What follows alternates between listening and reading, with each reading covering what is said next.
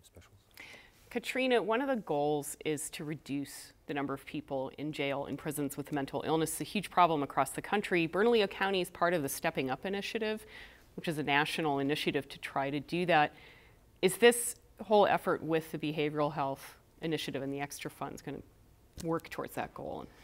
Well, it's not specifically aimed um, at the criminal justice population. What we've learned through this is that you know the Stepping Up initiative, we've got to do a lot of prevention to make sure that this doesn't continue to happen. And we've got to have stabilizations and supports in our community to stabilize individuals no matter if they're coming from the hospital or from the jail or incarceration.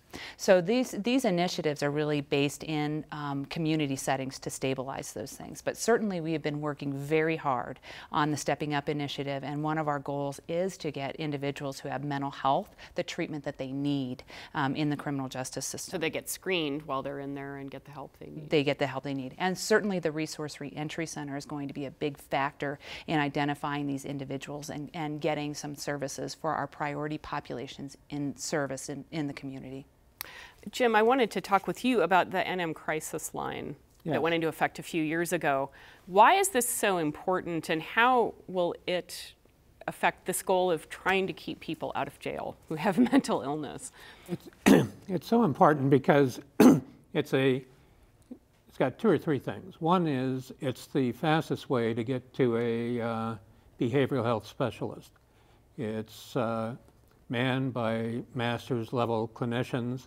You can get hold of someone within a few, few well, less than a minute, I think. So someone's like, my son is says voices in his head. He's throwing things around. Right, okay. and so they can get you in, in contact with resources.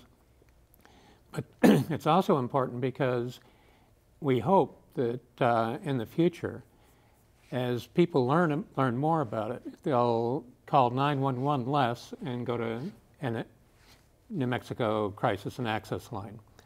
And then New Mexico Crisis and Access Line will be able to send out, I think, community engagement teams, be able to, you know. Instead and, of just the police rolling up necessarily. Eventually the crisis uh, mobile crisis teams depending on how things go with the police and, and that sort of thing. So that's sort of the vision for the future. But what's important is people start using New Mexico Crisis and Access Line. Doug, I'm going to put you on the spot for a minute because sure. you're from the city of Albuquerque. we have been talking about culture change in the police department as yes. well. Now, you know, a lot of police are not prepared to deal with people with mental illness. It gets kind of, they're the default people Correct. who deal with it do you see these efforts with the mobile crisis team, with the crisis line, helping towards this goal of, of de-escalating these encounters and maybe lessening? No, I absolutely do. I think that's at the root of all the things that we're trying to achieve. If we're going to have less people show up in jail, we're going to have less people show up at our psych emergency rooms, we're going to have less encounters with the police. And we want those encounters that do have to happen to be uh, more positive in terms of their outcome. And so to that end, the Albuquerque Police Department has stepped up their training of their uh, force. Every single officer gets at least 40 hours of crisis intervention training.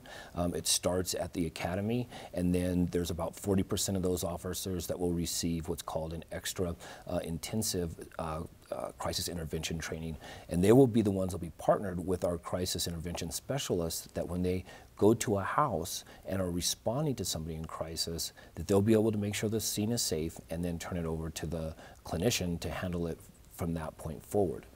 And so their goal is to ultimately, like we spoke about earlier, is maybe not even have to show up at some point. I mean, that, that is at the end of the day where they want, want to go with it. And they've been very active with us in, in visiting other communities to see how they're doing it as mm -hmm. well. So the, the police department and their role now and how they're carrying out their, their job is significantly different today than it was even two years ago. Okay. Thank you all for staying talking about this. Appreciate it.